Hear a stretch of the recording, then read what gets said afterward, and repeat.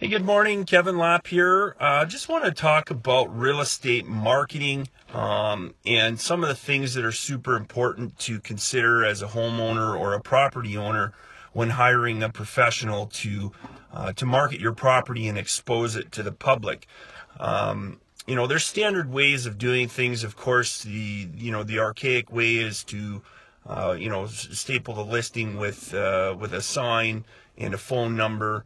Uh, this is a very, very passive way of of marketing in today's world. We know that 95% of home buyers start the process online. Uh, doesn't mean that they are in the market right now, uh, but being able to engage with these people online, providing them with information and value of the listings that we have, uh, and being able to do that in a timely fashion is absolutely crucial. So, when you're considering hiring someone to professionally market your property, um, you're going to want to make sure that they're up to speed and that they take it very, very seriously.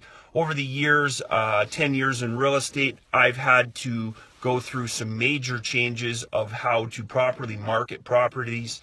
Um, we know that the social media markets now uh, is something that if you are not uh, having a clear understanding of how to properly market through social media, it can often be a waste of time uh, and you can get lost in the noise of, of what's actually happening out there. So, uh, we ensure that we are properly being trained and coached by the best in the world uh, so that we can pass that along to the people that work in our organizations to ensure that they're providing the best marketing tools and state of the art equipment and technology is being leveraged at the highest point so that we're able to uh, work with more buyers than anybody else in our current market. So, uh, again, just a quick tip uh, when you're looking to hire a, a, new agent to represent your property uh, to ensure that you're qualifying them on the things that they're doing and that they're up to date in regards to how marketing is done in this world